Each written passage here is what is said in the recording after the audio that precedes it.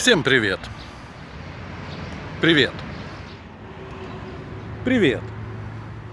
С вами я, Александр Демидович. Сегодня 10 июля 2018 года. Я нахожусь э, под мостом, под Зыгинским мостом на маршала Бирюзова, да? И вот какая ситуация. Не так давно здесь полиция показательно штрафовала тех, кто переходит через э, железнодорожное полотно.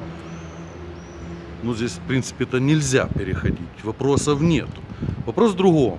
Полиция сделала определенную работу в тот день, оштрафовала несколько человек. Заработали зарплату, им заплачен был, оплачен тот день. Но конечный результат остался прежний. То есть, если не говорить, что просто нулевой. Да, 2-3 человека сюда никогда уже не придут переходить железную дорогу. Но э, вероятность э, гибели граждан здесь остается все та же, что и была до того, как полиция приезжала сюда. Зачем они это делали, непонятно. Конечного результата нету. Движение произошло, ну, сделали что-то.